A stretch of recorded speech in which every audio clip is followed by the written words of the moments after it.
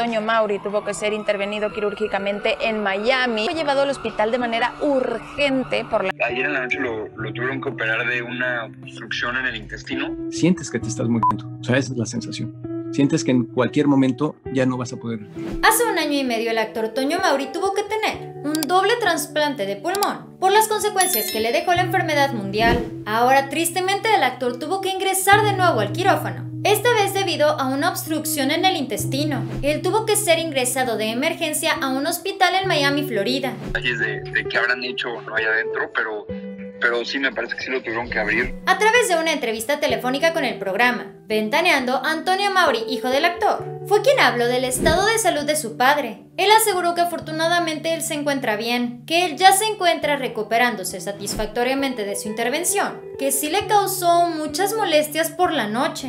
Antonio explicó que su padre, Toño Mauri, aún se encuentra en el hospital. De quirófano lo pasaron a un cuarto y ahí se está recuperando favorablemente. El hijo del actor nos contó cómo fue que su padre otra vez llegó al quirófano. Ayer en la noche lo, tuvieron que operar de una eh, obstrucción en el intestino.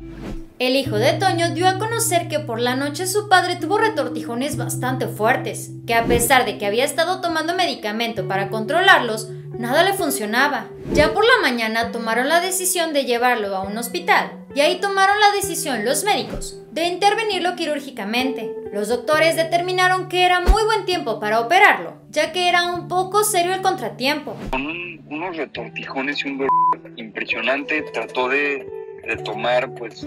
Sobre cuándo Toño Mauri podrá regresar a su hogar, el hijo del actor comentó que aún no lo saben, que depende bastante de su recuperación. Además, a Toño Mauri lo tienen que estar monitoreando, ver qué es lo que come y cómo está saliendo todo. Afortunadamente contó que después de la operación él se despertó y se encuentra muy bien. Gracias a Dios salió de la operación, todo súper bien y pues ya estaremos aquí un tiempo más. El hijo del actor aclaró que toda esta cirugía no tuvo absolutamente nada que ver con su última intervención médica cuando recibió ese doble trasplante de pulmón. Antonio Mauri comentó que si algo está bien con su papá son sus pulmones, que esta cirugía no intervino en ellos para nada, como que más bien fue la operación de la vesícula que anteriormente había tenido, la que tal vez pudo provocar algún mal por ahí, pero ya todo afortunadamente está perfecto. Hace unos cuantos días, Toño Mauri utilizó su cuenta de Instagram para dar a conocer que visitó el hospital donde recibió aquel doble trasplante de pulmón